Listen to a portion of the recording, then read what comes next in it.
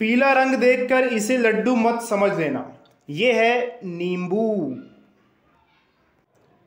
और ये जो तीस नज़र आ रहा है ना, इस तीस को देखकर कंफ्यूज मत हो जाना कि ये तीस रुपए का आधा किलो मिलने वाला है। बिल्कुल भी नहीं।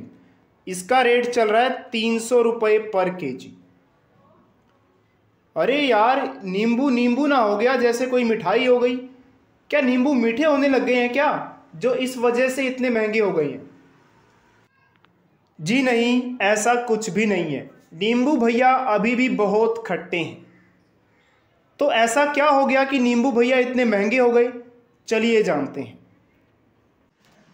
हमारे देश में सबसे ज़्यादा नींबू आंध्र प्रदेश, महाराष्ट्र, गुजरात, मध्य प्रदेश, इन राज्यों में होता है। लेकिन तोकते तूफ़ान की वजह से इन राज्यों में नींबू की फ़सल खराब हो गई।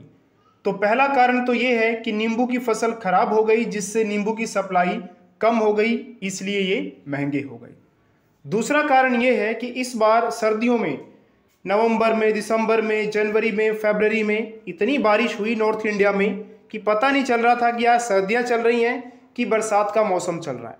तो इस बारिश की वजह से भी नींबू की फ़सल खराब हुई है। और तीसरा कारण तो आप खुद जानते ही हैं। नहीं जानते? अरे सोचिए, बताइए तो सही। अरे तीसरा कारण यही है यार कि डीजल, पेट्रोल की कीमतें बढ़ती जा रही हैं और जब नींबू की सप्लाई की जाएगी, इसका ट्रांसपोर्ट होगा तो सीधी सी बात है, डीजल, पेट्रोल की कीमतें बढ़ने की वजह से ट्रांसपोर्ट करने की जो कॉस्ट है, वो भी बढ़ेगी तो ऑटोमेटिकली नींबू के दाम में भी इंक्रीज देखने को मिलेगा। तो ये थी नींबू भैया के महँगे होने की कहानी।